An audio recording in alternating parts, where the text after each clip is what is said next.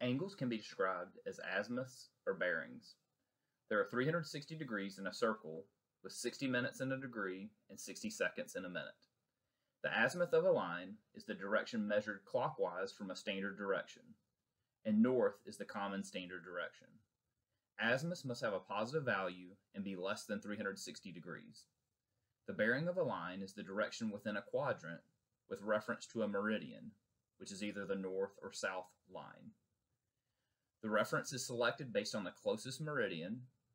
Therefore, bearing angles must be less than 90 degrees. While the azimuth is described by a single numerical value, bearings must reference the leading latitude direction, north or south, the angle turned from the meridian, and the direction of the turn from the meridian, east or west. For example, the southwest line, which is the line that bisects the southwest quadrant, has an azimuth of 225 degrees and a bearing of south 45 degrees west. The azimuth of 225 degrees is the angular measurement from north, and the bearing first lists the reference axis south, then the angle of turn towards the horizon west.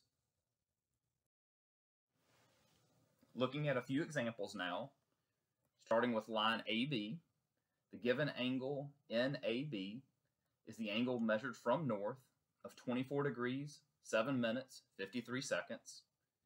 Therefore, the azimuth of line AB is directly known of 24 degrees, 7 minutes, 53 seconds. The bearing of line AB is also directly known of north 24 degrees, 7 minutes, 53 seconds east. Now looking at line AC. The given angle SAC is the angle measured from south of 58 degrees, 18 minutes, 49 seconds. Therefore, the azimuth can be calculated by subtracting this angle from 180 degrees.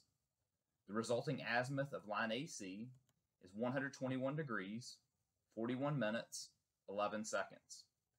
The bearing of line AC is referenced from south towards the east as south 58 degrees, 18 minutes, 49 seconds east.